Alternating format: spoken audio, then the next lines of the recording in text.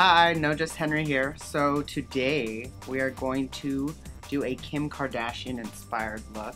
Um, that's a really big trend right now, the highlight, the contour. So I'm going to show you my version of the Kim Kardashian look. So I hope you guys like it. First things first, we're going to start off with moisturizing the skin. We're going to use Embryolisse Cream Concentrate Moisturizer. I like putting this on a little metal palette and then using a synthetic brush to put it all over the skin to hydrate it and prep the skin for foundation. Now for the brows, we are going to use Anastasia Beverly Hills Pro Brow Palette. Oh, that's a tongue twister. And uh, we're going to use an angled brush. Now with the angled brush, when I choose my shade and I start to fill in the brows, as you can see, I'm starting a little bit lower. I'm doing this because I wanna make sure that brow is nice and filled all the way through. This is gonna make the brow look a little bit thicker than what her normal brow looks like.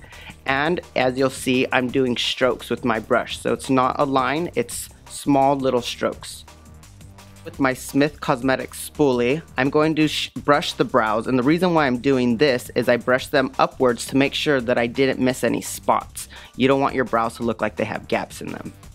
To set the brows, I'm going to use Tint and Set from Hot Makeup. This color is Auburn. And I'm going to use this because it's going to darken the brows just a little bit, but it's also going to fill them in and keep them set time for foundation. Now here's a little tip for you guys. If you mix face and body foundation in any foundation that dries to a satin or matte, what this is, does is it helps your face hold a glow. A lot of times with liquid foundations, they dry to a matte, so then your face looks too dry. And for this look, we wanna make sure we have the glow even before we put the shine. And now for contour. We're gonna use Make Up For Ever's new Ultra HD foundation. This shade is Y505. We're gonna use it along the sides of the cheeks and put it all the way up into the hairline. We're gonna kind of blend it out a little bit with the brush and then we're gonna get a wet beauty blender and we're really gonna buff it into the skin with that. Now if there's one thing everybody does with these Kim Kardashian inspired look, it's that contour. So we're focusing on the contour, so we're gonna bring it to the nose now. With the same color and a flat brush, we're gonna use it along both sides of the nose and we're gonna blend it out. This is gonna make the nose look more slender, more defined, and it's really gonna highlight the bridge of it. Now for under the eyes, we're gonna use LA Girls Pro Concealer. This is the yellow corrector concealer that just came out. It's one of my favorites. It has a really nice, beautiful yellow tint to it. And with all these looks now, you know everybody likes that nice bright under eye. Now to set this, I'm using MAC Cosmetics Mineralized Powders. This one is medium golden. I love these powders because they're perfect for flash photography because they don't whiten out the face. So I get a brush, medium size, a blush brush or powder brush, and I slightly press the powder onto the eye. Don't move it too much or else it's going to settle into the lines. All these warm tones, you want to make sure you add a little bit of color. Doing so is going to help your face look alive instead of looking too warm or too golden. So I'm using Hot Makeup's Professional Red Carpet Ready Blush in the color Pool Party and I'm just applying it to the apples of the cheeks. This is going to give some color and liveliness to her face. Now for the highlight. If you have not used MAC's highlighter in Soft and Gentle, you are missing out. It's one of highlighting staples. It's one of the first highlighters that I ever used. Use a powder brush with it, apply it to the apples of cheeks. If you haven't used it before, you're gonna fall in love.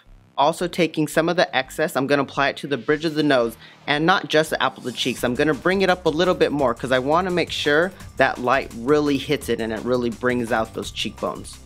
With the new lip pencil, I'm gonna line the lips. Now the one thing about these Kardashian inspired looks is those overdrawn lips.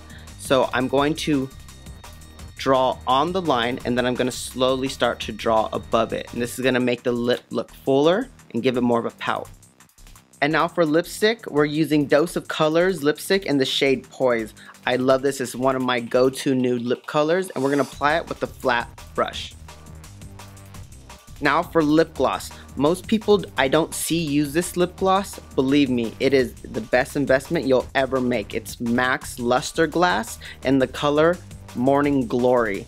it has a pink hue, but it does not come off like that. It's gonna give your lips that beautiful shine. How can you have a Kim Kardashian inspired look without the product she made famous? This is Ben Nye's Banana Powder. We're gonna put this underneath the eyes. So this is gonna add a little bit of a highlight, but also it's gonna help us for any fallout that we might have when applying eyeshadow. Now I'm gonna use Anastasia Beverly Hills Highlight Pencil. I'm going to use this underneath the brows and one, it's going to not only add highlight on the brow bone, but it's going to really define and shape the under part of that brow. It's actually going to make them look a little bit fuller too. With a small tapered blending brush, I'm going to blend it out just a little bit. You want to keep the definition, but you don't want it to be too sharp. For an eyeshadow base, I'm using MAC's Paint Pot in the shade Constructivist. I'm going to put this on and blend it out with a small eyeshadow brush. I'm also going to take the same base and I'm going to put it underneath the eye as well. And then I'm going to blend this all out with the blending brush. Here's a quick tip. Using MAC Cosmetics Fix Plus, I already have eyeshadow on my brushes, so what I'm gonna do is I'm gonna spritz it onto the brush and I'm gonna apply it directly onto the lids. This is gonna intensify the color, so when I blend it out, it doesn't look too ashy. And now with a small powder brush, I'm gonna go ahead and wipe away the Ben Nye powder. So now I'm gonna take a shimmery peachy tone eyeshadow. I'm gonna put it in the inner corner of the eyes. This is gonna help make the eye pop out. With the nude eyeshadow and a blending brush, I'm gonna go ahead and I'm gonna blend the crease of the eye to help all of the transition from the eyeshadow to the eyebrow bone look seamless for mascara, we're using Hot Makeup Professional's Fat Daddy Mascara. This is a serum mascara, so not only does it help your eyelashes grow, but it's a really dark, dark black. Here's a tip slash suggestion. You shouldn't be using mascaras on your clients, so I always keep with me disposable mascara wands. And then I bend them when applying because it makes it easier to apply the mascara to the bottom lashes.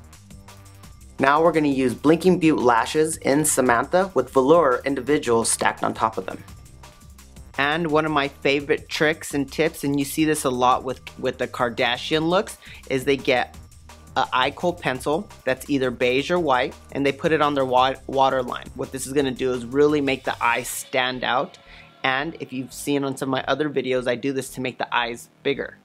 Remember when you're putting on false eyelashes, sometimes the glue does not dry all the way black. So I like to take some eyeshadow and just go over the lash line to help darken it so you can't see any of the glue that hasn't dried to a full clear or black.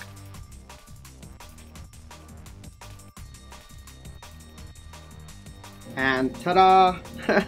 so this is our final look for our Kim K inspired uh, glam look. I hope you guys loved it. I had so much fun doing it. Thank you, Anna, for being my model. Love her to death. If you have any questions or comments, leave them below. Even if you have suggestions, let me know what you want to see. Don't forget to subscribe. And until next time, bye guys.